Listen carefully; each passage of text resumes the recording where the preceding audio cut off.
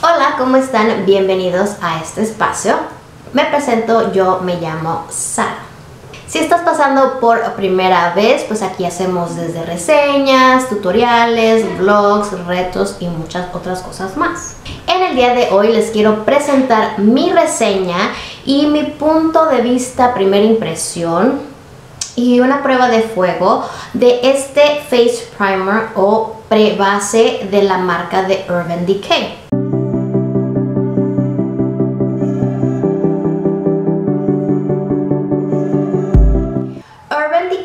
Es muy famoso por su setting spray que es el All Nighter y recientemente sacaron al mercado la pre-base. Yo pude conseguir una muestra a los mismos días del lanzamiento. Afortunadamente pude directamente ir a la página y ordenar o pedir una muestrita y me llegó en esta cajita y esta es la muestra que me llegó en el correo. Entonces, el nuevo All Nighter Face Primer dice que va a hacer que tu maquillaje se agarre de tu rostro y que no lo, que no lo va a soltar que esto va a ayudar a que se extienda la vida de tu base hasta por 8 horas y que pues esto debería ser parte de tu rutina. También dice que es un primer que es vegano, que es, suavecito o sedoso al tocarlo, se aplica y es eh, transparente, o sea no hay ningún color en él, es ligero y que también te va a otorgar hidratación y que va a suavizar tu complexión. También va a ayudar a que tu maquillaje se vea fresco y que la aplicación se vea suave y nivelado y que también va a ayudar a que ligeramente desaparezcan la apariencia, apariencia perdón, de líneas finas o de expresión. Puedes utilizar este primer solo como hidratante para suavizar tu cutis. Bueno, promete demasiadas cosas este primer. Afortunadamente yo ya me lo apliqué y tengo algunos pensamientos y opiniones sobre él. Así que antes de presentárselos, bueno, este es el empaquetado, esta parte de aquí.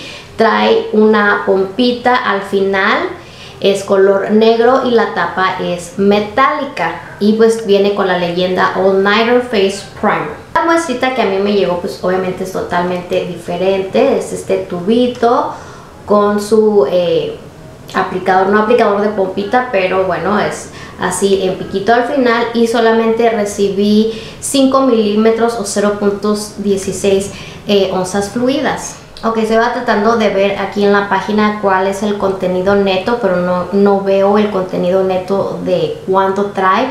Pero el precio del Face Primer es de 36 dólares. Lo puedes ordenar directamente a Urban Decay, sino también puedes ir a Ulta Beauty y también lo puedes conseguir en um, Sephora o tiendas que manejen Urban Decay en otros países. Ahora, vamos a hablar un poquito eh, de la textura. Es una textura cremosita, es blancuzca, pero una vez que lo aplicas pues desaparece, entonces se ve de esta manera, se ve como una cremita y pues va desapareciendo eh, conforme lo estás aplicando. No tiene un olorcito en específico, huele como como a cremita, no sé, como, o sea, trae un perfume muy muy ligero, el cual no molesta y pues sí se siente ligerito, no se siente grasosito. Ok, en la lista aquí de ingredientes contiene agua, contiene glicol, contiene glicerina y sí contiene siliconas. Ahora, yo no soy muy fanática eh, de las siliconas. Ahorita les voy a explicar por qué cuando vean en la aplicación. Pero eh, mi recomendación o la recomendación de maquillistas profesionales es que si tú tienes un cutis reseco y también en parte combinación, es mejor que utilices una prebase a base, vaya la redundancia, de silicona. Si tienes piel grasa, no se recomienda que uses productos a base de silicona. Entonces, por ende, no recomendaría esta base para pieles grasas, pero sí para piel combinación o piel muy reseca. También para las que ya tenemos pues pielecita más madurita, también se recomienda utilizar productos a base de silicona porque van a rellenar de cierta manera arruguitas y líneas de expresión como es lo que mencionaba ahorita en la descripción de este primer. Ahora, yo en lo personal no utilizo un primer porque eh, lo aprendí de Scott Barnes, que es el maquillista de JLo. Él mencionaba, y yo concuerdo 100% con él, que si utilizas o si preparas muy bien tu cutis, si tienes una rutina del cuidado de la piel eh, conforme o al, eh, dándole las necesidades que tu piel requiere. No es necesario que utilices una prebase porque le estás otorgando tanto hidratación, nutrientes, si lo exfolias y todo eso tiene que ver al momento de tú aplicarte tu maquillaje.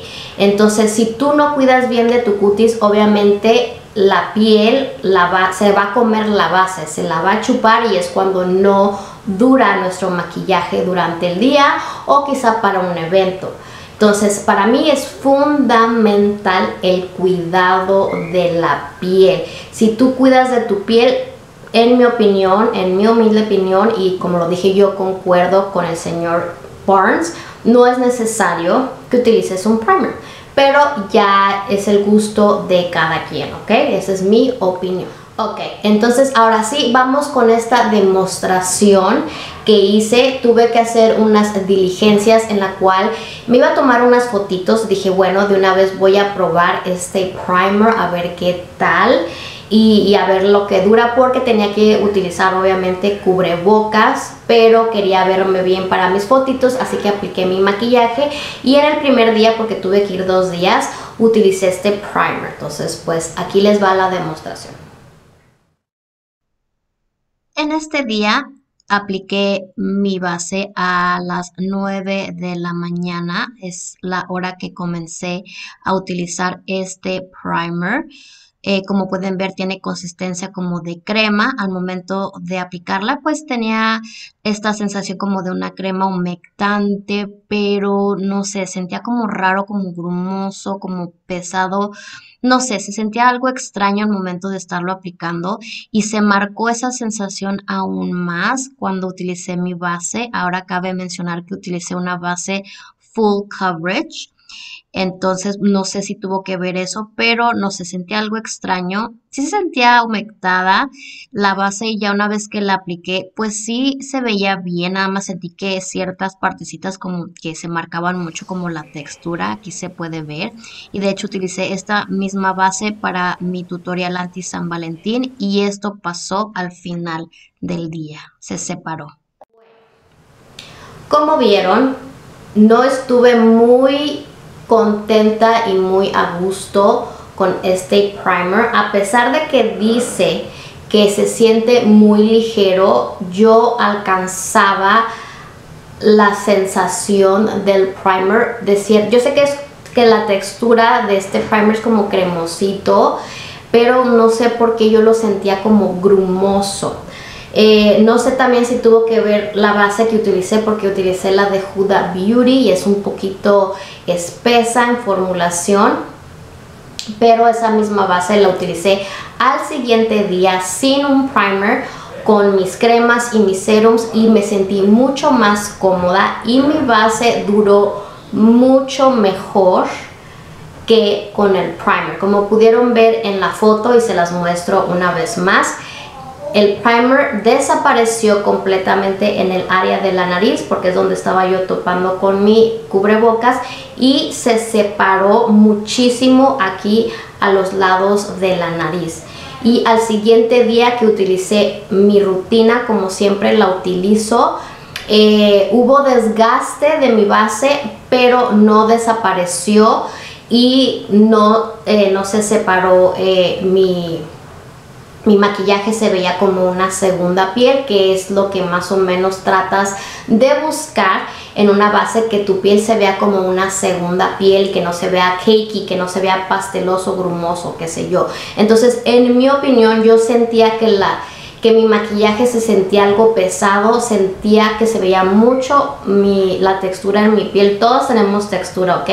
Pero hay ciertos productos que te las acentúa un poquito más y yo sentí que con esta base no sé, no, no me gustó. Les voy a ser sincera, no me gustó, pero les menciono de una vez, cada cutis es muy diferente y a lo mejor también tiene que ver la base que utilices con este primer. Como les mencioné, utilicé la de Huda, que es un producto full face. La formulación es muy espesa, pero digo, comparando un día con el otro, mi maquillaje se comportó totalmente diferente eh, con y sin el primer, utilizando pura rutina de cuidado de la piel.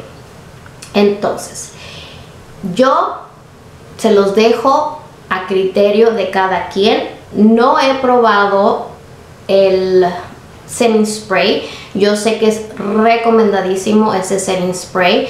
La mayoría de los maquillistas profesionales utilizan ese setting spray. Eh, pero al menos yo el primer no, no, no me gustó. Lo voy a volver a intentar a probar o a usar con otra base diferente, con la de It Cosmetics, que es la que normalmente utilizo. Eh, y es menos pesada que la de Huda, pero como les digo, ese día me iba a tomar unas fotos y quería verme flawless, quería verme bien, que es por eso que usé esa base. Pero sí, o sea, le voy a dar una segunda chance, pero al menos en primera impresión, en primer instante, la verdad, no. No me gustó, no me convenció y no duró las 8 horas que supuestamente promete, ¿ok? Como pudieron ver, se separó y esa misma base la utilicé para el video del maquillaje de Anti San Valentín. Entonces duré prácticamente las 8 horas con, esa, con ese maquillaje, con ese primer. Entonces, no sé qué pasó. Pero bueno, así es como terminamos desafortunadamente con este review del All Nighter Face Primer. No me gustó, chicas. No me gustó, pero como les digo, ya se los dejo a criterio de cada quien porque a lo mejor a mí no me funcionó pero quizá a ti sí. Bueno, pues hasta aquí llegamos con esta reseñita y pues déjenme saber en la área de comentarios qué les pareció este primer, si realmente les funcionaría o no, o lo que ustedes me quieran dejar en el área de comentarios sus comentarios como siempre son muy bienvenidos y obviamente te invito a que te suscribas al canal que oprimas ese botoncito rojo y también muy importante que opriman la campanita porque a veces YouTube no les deja saber que hay videos nuevos entonces pues oprimen la campanita para que vean que siempre estamos aquí cada semana. Así que pues muchas gracias por acompañarme. Nos vemos en el siguiente video y que estén muy bien. Nos vemos a la otra. Bye bye.